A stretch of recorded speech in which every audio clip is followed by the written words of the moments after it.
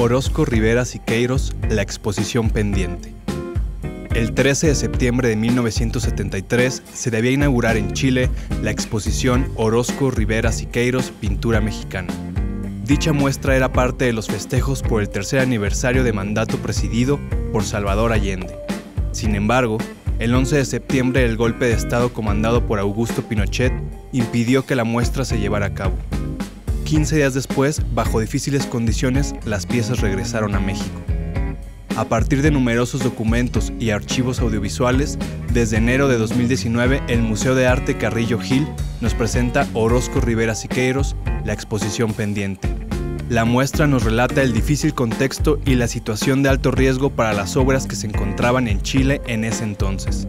Este montaje cuenta con alrededor de 169 pinturas en las que también se encuentran distintos óleos de Rivera, las representaciones pictóricas de Orozco y los cuadros de Siqueiros. Puedes visitar la exposición pendiente en el Museo de Arte Carrillo Gil, ubicado en Avenida Revolución 1608, en la colonia San Ángel, de martes a domingo de 10 a 16 horas. El costo es de 50 pesos y el domingo es entrada libre.